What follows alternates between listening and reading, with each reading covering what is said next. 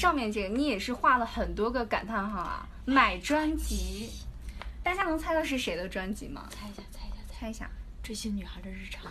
追星女孩的日常，彭于晏，彭于晏不出专辑，彭于晏出啥？防弹有，防弹是吗？还有还有粉末，对，粉末昨天出粉末昨天出了新专辑哦。对，旁边的姐姐也在，旁边的迷妹都已经开始就是懂了。好，我的小哥哥跟小姐姐们。嗯，好，平时就喜欢看他们的一些就是歌曲之类的，还有 MV 之类的是吧？我的就是他们平时问我说：“天哪，你的生活过得好无聊啊。”我说：“不无聊啊，我看小哥哥跟小姐姐们跳舞啊，多有意思啊，多好看啊。嗯，所以大家就是平时没事儿的话会想你，这也是嗯，也是一个追星迷妹迷弟的一个日常了。嗯嗯，追星跟买专辑就是会有一些重叠嘛，它是占了你两个框框的位置。买专辑是最近想要做的事情，然后追星是一直在做的事情。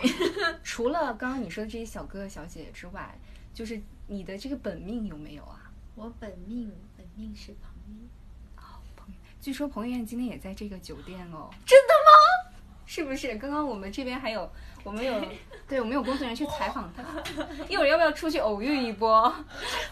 如果你如果此时你刚刚出门穿的如此美丽，碰见他，你会去你想象一下，你会怎么跟他打招呼之类的？哇，现在有点激动了，有点激动了，是不是？呃，开心。先给你打好预防针，说不定你真的会碰见他。